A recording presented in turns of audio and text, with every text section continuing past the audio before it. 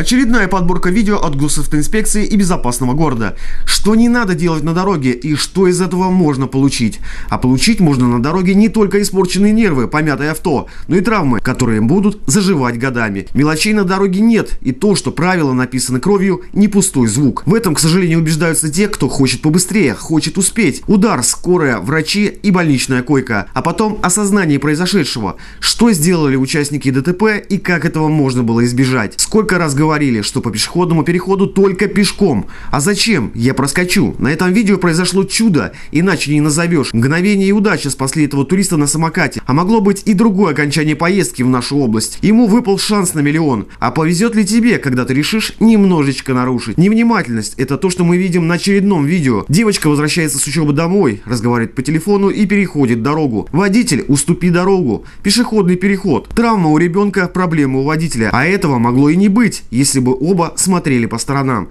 Так просто. И какие последствия? И поверьте, правила дорожного движения созданы не для того, чтобы кого-то ограничить, запретить или сделать неудобства, а для того, чтобы спасти ваше здоровье, спасти вашу жизнь.